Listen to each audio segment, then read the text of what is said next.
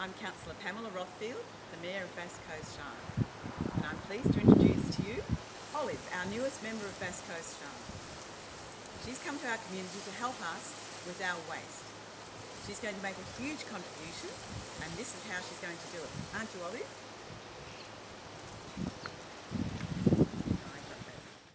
Wow, what a load of rubbish.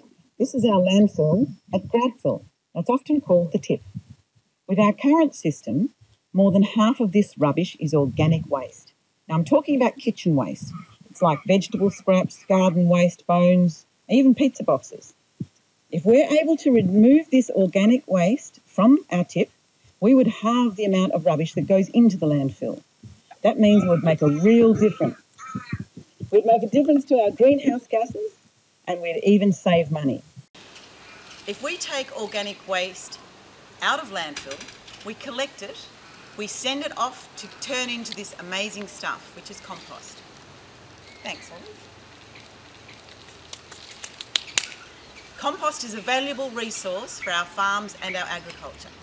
So we're turning this rubbish into amazing compost to help us with our fruit, our vegetables and our gardens. What's better than that? So remember to be a good sort and make sure that you put your waste in the right place. Green for organics, that's anything that was alive. Yellow for anything that you can recycle, like glass, like tin, paper and cardboard. And last of all, red. That's for rubbish. Thanks for your help today, Ollie.